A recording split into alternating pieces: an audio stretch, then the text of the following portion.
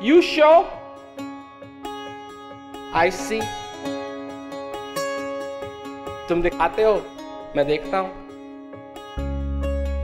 You speak I hear. तुम बोलते हो मैं सुनता हूँ बहुत बहुत आभारी हूँ जो आपने मेरे को ज्ञान दे करके और मेरे जीवन के अंदर जो है ना हरियाली लाई है You're connecting people across the world. And I think that is the biggest, most incredible gift. I'm on this mission to light everybody's unlit candle around me after my candle was lit from you, so thank you.